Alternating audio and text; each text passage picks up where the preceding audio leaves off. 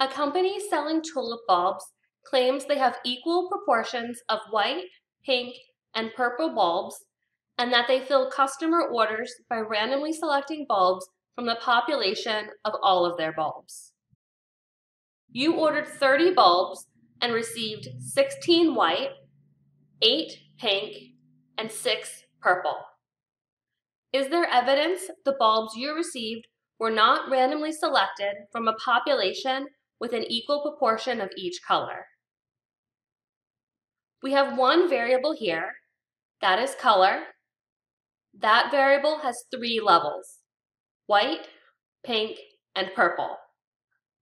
We're going to conduct a chi-square goodness of fit test to determine if there is evidence of any differences between the three population proportions. We'll be using the five-step hypothesis testing procedure. Step 1. Check assumptions and write hypotheses.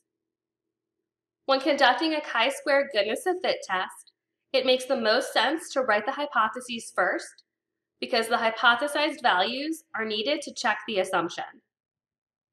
In this example, the tulip company is claiming that the proportions for white, pink, and purple are all equal.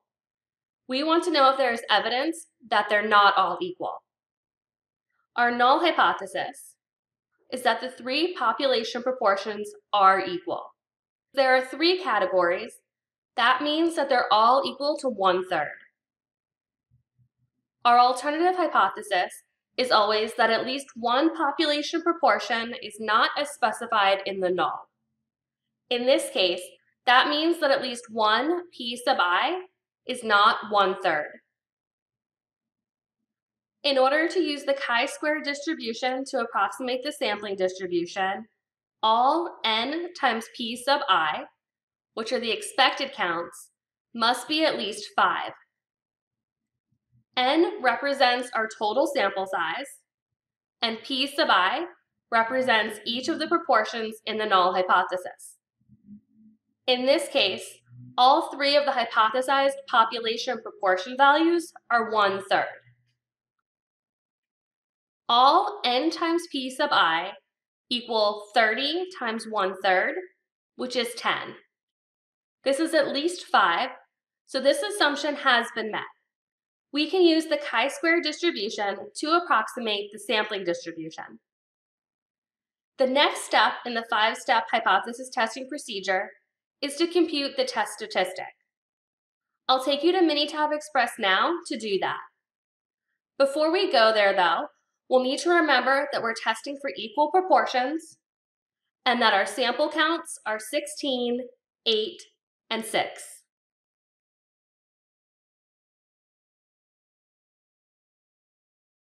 we can enter our summarized data into a blank Minitab Express worksheet.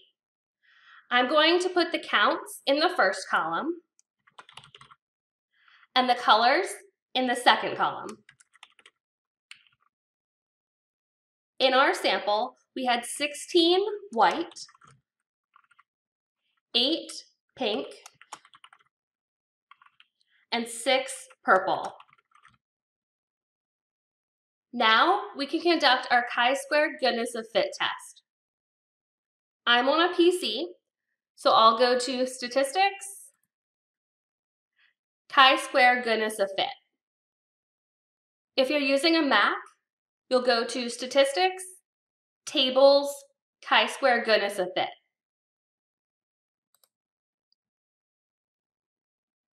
The default is categorical data in a column. This essentially means raw data. This would be if we had 16 rows that said white, 8 rows that said pink, and 6 rows that said purple. In this scenario, we were given summarized data, and we've already summarized those data into a column. So from this dropdown, we need to select Summarize Data in a column. Our observed counts were in the first column, and our category names were in the second column. The default setting for test, which is referring to the null hypothesis, is equal proportions. In this example, we are testing the null that the proportions are all equal, so we'll keep that setting. Click OK. In the first table, we're given our summary statistics. This includes all of the expected counts.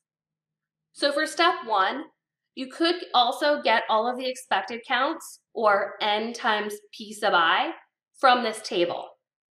If you're going to do that, instead of computing these by hand, like we did earlier, which is totally acceptable, just make sure that on the lab assignment, you're including this table and explaining that you're taking the expected counts from here, that they're all 10, which is at least 5. In other words, be very clear about how you're checking the assumption. The second table is what we need to complete the remainder of our five-step hypothesis testing procedure. Step two is to calculate the test statistic. Here, our test statistic is chi-square equals 5.60. Step three is to determine the p-value. Our p-value here is 0.0608. Step four, make a decision. Our p-value is greater than the standard 0.05 alpha level, so we should fail to reject the null hypothesis. And step five, state a real-world conclusion. There is not evidence that your tulip bulbs were randomly selected from a population with unequal proportions of white, pink, and purple.